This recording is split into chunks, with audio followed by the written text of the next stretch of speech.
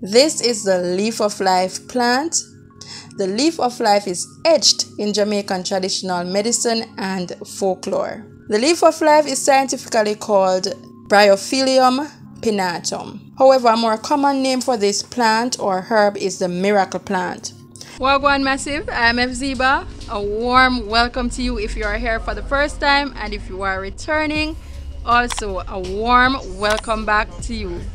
Now we're gonna get right into this video. We will be sharing with you on the leaf of life.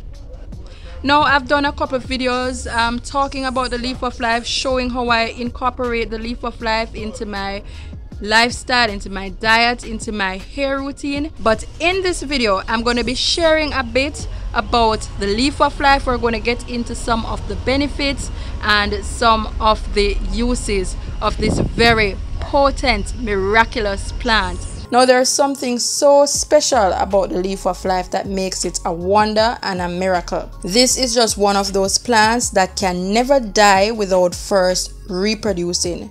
So, right between the jagged edges of the plant, the plant will reproduce new leaflets or plantlets even without soil or water. Now, I see some persons attempt to dry the plant and to powder it. However, attempting to dry the leaf of life plant, whether you're using heat or air, will destroy almost all its properties and nutrients. This is one of those exceptional herbs that must be consumed in its fresh state. The leaf of life, it grows wildly in Jamaica. It can easily overpopulate or overrun an area because of how rapidly it produces. The plant produces these variegated bell flowers and at this time it is not advisable to use the plant for its medicinal benefits. The leaves of this miracle plant maintain their integrity the most when it is of a deep green color so it's best grown in shady areas and not too much sunlight.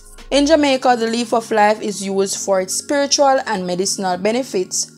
For its medicinal benefits, it is used as an effective remedy for coughs and colds. So when we were children, we would get this as our cold medicine, either this or the rice and peas bush, which we will talk about in another video. In essence, the leaf of life is thought, you know, in Jamaica to rid the body of phlegm and mucus. Now I share how to make this cold remedy on the channel so you can feel free to check out that video after you're finished watching this one. However, I will just go over briefly how we actually use the leaf of life in making cold remedies. Now to use the leaf of life as a cold remedy, this can be done in several ways. Here are a few ways in which we use the leaf of life. Now usually the juice is extracted and mixed with salt.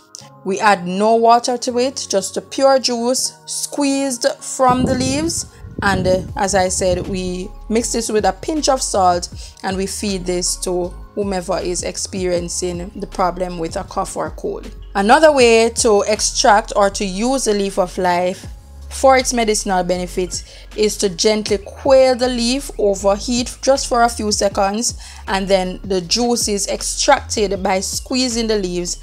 Um, some persons will also make a tea from the leaf so that's three ways in which we use the leaf of life as a remedy for coughs and colds. The leaf of life or miracle plant is also used in the treatment of bronchitis or asthma so any kind of lung conditions. The leaf of life is a type of succulent.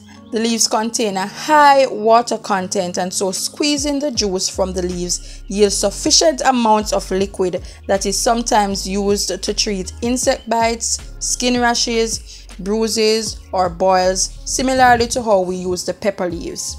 One of the common benefits of the leaf of life in Jamaican traditional medicine is that it is also used as a treatment for kidney stones. Sometimes without even being ill, some Jamaicans will chew on a few leaves as you see me doing here. I'm chewing on one of the leaves of this miracle plant as a preventative measure. Some persons just think that, you know, the Leaf of Life, it boosts the immune system. The Leaf of Life has regenerative properties that is thought to revitalize and energize the body and so you can see clearly why persons would just chew on it. Now, just a word of caution, the smaller leaves tend to be a bit more bitter than the more mature leaves. The anti-inflammatory properties of the leaf of life makes it a useful treatment for not just coughs and colds, but as a treatment for, you know, healing scars and minor skin abrasions or injuries. Because of the properties of the leaf of life, I personally and guys you have seen me using this plant on my channel i personally use it to keep away premature graying and i also use this frequently in my hair care routine guys i've tested and proven that the leaf of life actually helped me immensely with recovering from hair loss now some other uses of the plant that I will mention briefly. The leaf of life is used as a treatment sometimes for some types of worms.